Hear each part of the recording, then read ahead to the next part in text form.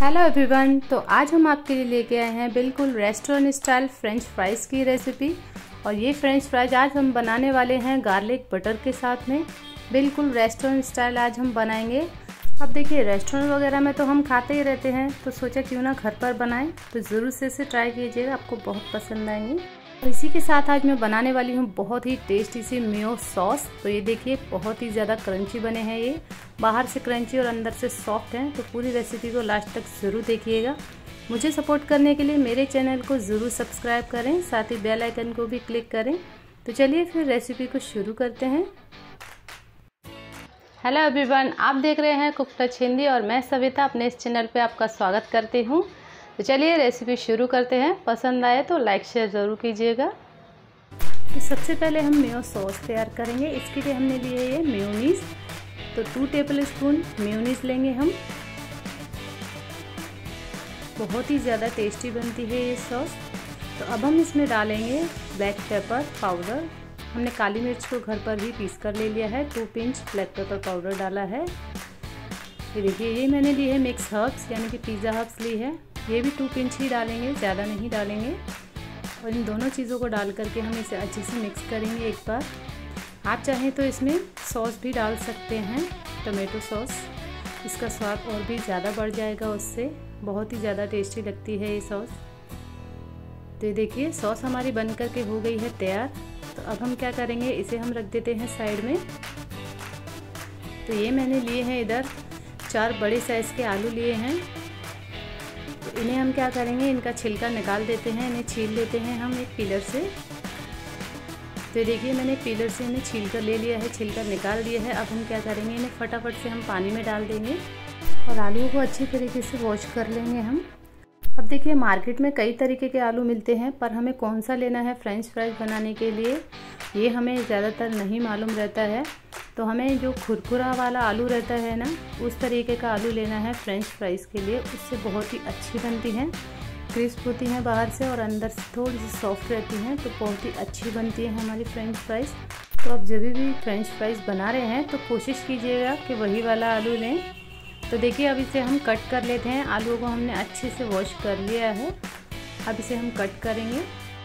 अब देखिए, आप चाहें तो इन्हें हाफ़ कुक करके फ्रीजर में स्टोर करके भी रख सकते हैं। तो कैसे करना है, वो मैं आगे आपको वीडियो में बताने वाली हूँ। तो देखिए, इस तरीके से हमने कट कर लेना है। देखिए, बहुत ही इजीली कट हो जाती हैं हमारी फ्रेंच फ्राइज देखिए, कितना बढ़िया हमने कट करके इन्हें तैयार किया है।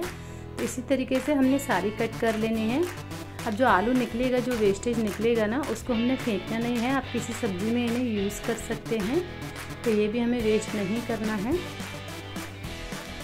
तो देखिए इस तरीके से, एक और तरीका आपको बता देती हूँ। देखिए इस तरीके से भी आप कट कर सकते हैं। बहुत ही इजीली कट हो जाती हैं ये।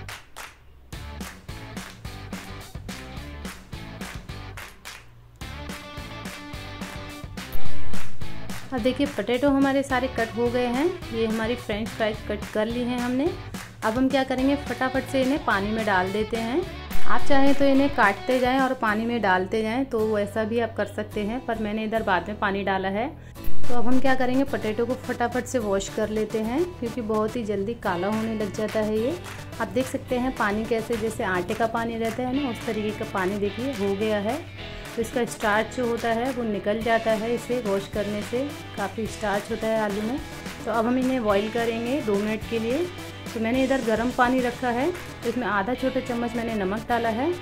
तो थोड़ा सा गर्म पानी होगा ना, उसी टाइम पे हमें इसमें आलू को डालना है। ठंडे पानी में ना डालें आप। तो थोड़ा गर्म पानी हो, तभी आप डालें। अब मैं इसे दो मिनट के लिए हाई फ्लेम पर कुक करूँगी इसी तरह से उबाला आने तक। तो देखिए, काफ़ी अच्छे से इसमें उबाला आ रहा है अभी। तो अब इसे लगभग दो मिनट हो गई हैं तो अब मैं गैस की फ्लेम को बंद कर देती हूँ और इन्हें हमने ठंडे पानी में निकालना है। एकदम ठंडा पानी लेना है हमें। ठंडे पानी में डालने से क्या होता है, इनकी जो हीट है वो तुरंत ही रुक जाती है। तो इसलिए हम इसे ठंडे पानी में निकाल रहे हैं। अब ठंडे पानी में से निकाल करके मैं इन्हें उसके बाद फ्रिज में रख दूँगी एक घंटे के लिए ताकि ये बहुत ही अच्छे से ठंडे हो जाएँ। उसके बाद हम इन्हें एक कपड़े से पोंछेंगे। तो देखिए, एक घंटा हो गया है। मैंने फ्रिज में से उन्हें निकाल लिया है। तो अब मैं इस कपड़े पे इन्हें फैला दूँगी इस तरीके से। और पंखे के नीचे भी आप सुखा सकते हैं थोड़ा या फिर किसी कपड़े से भी पोंछ सकते हैं। फ्रिज में रखने से हमारी जो फ्रेंच फ्राइज़ हैं बहुत ही ज़्यादा टेस्टी क्रिस्पी बनती हैं। तो आप ज़रूर से उन्हें फ्रिज में रखें या फिर ठंडा पूरी तरीके से आप उन्हें ठंडा कर लें उबालने के बाद। अब हम क्या करेंगे, इन्हें एक बाउल में निकाल लेते हैं।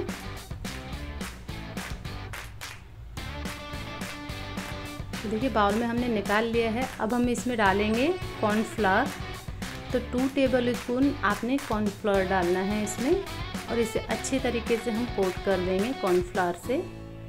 इस तरीके से आप टॉस करते हुए इसे कोट कर सकते हैं। तो अच्छे तरीके से हमने इसे कोट कर देना है एक एक फ्रेंच फ्राइज़ को। ये देखिए, मैंने कर दिया है। तो चलिए फ्राई करते हैं अब इन्हें। फ्राई करने के लिए मैंने इधर रिफाइंड ऑयल लिया है और तेल हमारा अच्छा गर्म होना चाहिए फ्राई करने के टाइम पे। अब थोड़ा थोड़ा करके इसमें हम डाल देते हैं पटेटो को। इस तरीके से हमने एक एक अलग अलग डालनी है ताकि ये चिपके ना। वैसे तो नहीं चिपकेंगी क्योंकि हमने इसमें कॉर्नफ्लोर डाला है। ये देखिए, इस तरीके से हमने इसे फ्राई कर लेना है। लो टू मीडियम फ्लेम पर ही हमें इसे फ्राई करना है। करीब 10 से 15 मिनट लगेंगे आपको इन्हें फ्राई करने में। तो फ्रेंच फ्राइज़ को हमें दो बार फ्राई करना होता है तो एक बार फ्राई करने के बाद आप इन्हें स्टोर करके रख सकते हैं। जब भी आपका मन हो तो आप इन्हें फ्राई करके दोबारा खा सकते हैं। तो आप इन्हें 10 से 15 दिन के लिए किसी एयर टाइट कंटेनर में फ्रीजर में इन्हें स्टोर कर सकते हैं।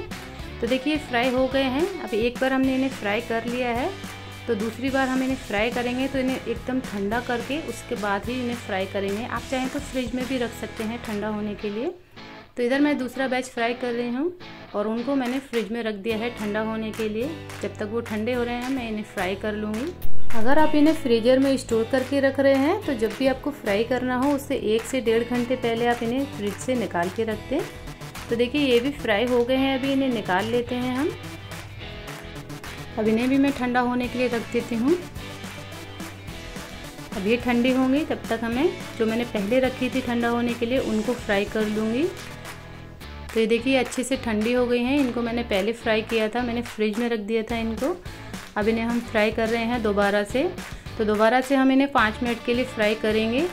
इससे बहुत ही क्रिस्प बन जाएँगी, अंदर से सॉफ्ट रहेंगी और बाहर से बहुत ही क्रिस्प बन जाएँगी। तो इस तरीके से हमारी फ्रेंच फ्राइज बन के तैयार हो जाती हैं। बहुत ही ज़्यादा टेस्टी लगती हैं ये। तो अब इन्हें हम निकाल लेते हैं। ये अच्छे से फ्राई हो गई हैं अभी। तो एक टिश्यू पेपर में मैं इन्हें निकाल लूँगी इस तरीके से। तो अब हम क्या करेंगे? जो हमने पहले फ्राई करके रखी थी, इन्हें मैंने फ्रिज में रख दिया था। अब इन्हें भी हम फ्राई कर लेते हैं एक बार और। लो टू मीडियम फ्लेम पे हमें इन्हें फ्राई करना है पाँच मिनट के लिए। तो ये भी फ्राई हो गए, इन्हें भी निकाल लेते हैं अभी। अब हम क्या करेंगे, एक कढ़ाई में लेंगे बटर। तो मैं ये सॉल्टेड बटर ले रही हूँ इधर। अगर आप अनसॉल्टेड बटर ले रहे हैं तो थोड़ा सा वन पिंच सॉल्ट डाल सकते हैं। तो टू टीस्पून मैंने इधर बटर लिया है। इसे मेल्ट कर लेते हैं अच्छे से। अब हम इसमें डालेंगे ये गार्लिक लिया है मैंने। वन टेबल स्पून लिया है और इसे ग्रेटर से ग्रेट करके ले लिया है। आप चाहें तो मैश करके भी डाल सकते हैं थोड़ा या फिर पीस कर भी डाल सकते हैं। तो इसे अच्छे से भून लेते हैं हल्की खुशबू आने तक। ज़्यादा इसे हमें काला नहीं करना है। तो देखिए अच्छे से इसमें खुशबू आने लगी है अभी। तो अब ये डाल देते हैं इसमें फ्रेंच फ्राइज़ को हमने फ्राई करके रखा है। इससे बहुत ही अच्छा स्वाद बढ़ जाता है इसका। तो ये ज़रूर से आप ट्राई कीजिएगा एक बार, आपको बहुत पसंद आएगी ये। तो अब हम इसमें डालेंगे पिज़्ज़ा। हब्स डाल रहे हैं हम इधर। वन फोर टीस्पून मैंने इसमें पिज़्ज़ा हब्स का यूज़ किया है। आप चाहें तो रेड चिली पाउडर भी डाल सकते हैं या फिर चिली फ्लेक्स भी डाल सकते हैं इसके जगह। और थोड़ी सी हम इसमें डालेंगे औरिगेनो टू पिंच औरिगेनो डालेंगे इसमें।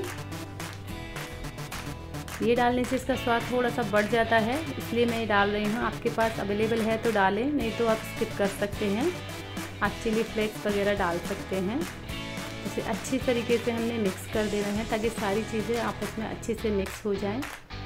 तो आपको हमारी रेसिपी पसंद आ रही है तो प्लीज़ लाइक शेयर ज़रूर कीजिएगा। और साथ ही हमारे चैनल को ज़रूर से सब्सक्राइब कीजिएगा।